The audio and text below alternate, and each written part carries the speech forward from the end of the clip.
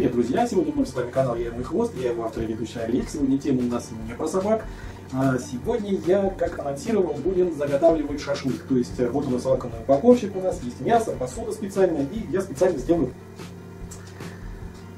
два вида даже сделаем, давайте, три вида шашлыка. То есть мы сделаем шашлык, э, сувид шашлык, это специальная такая кухня без сильной термообработки, где э, все ценные качества продукта сохраняются. То есть мы э, в специальном э, положим мясо мариноваться, которое будет потом находиться в горячей воде.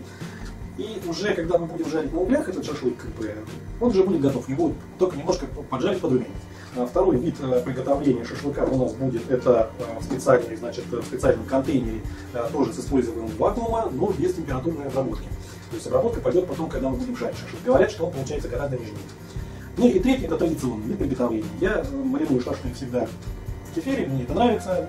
Ну, просто вот хочу продемонстрировать вам эти возможности вот этого вот вакуумного упаковщика. Кстати, это никакая не реклама абсолютно, тем более, что этот продукт достаточно дешевый, ни, ни, никаких денег я за это не получал. Ну так, давайте приступим. А, первое, что мы сделаем. Так, нам надо соль.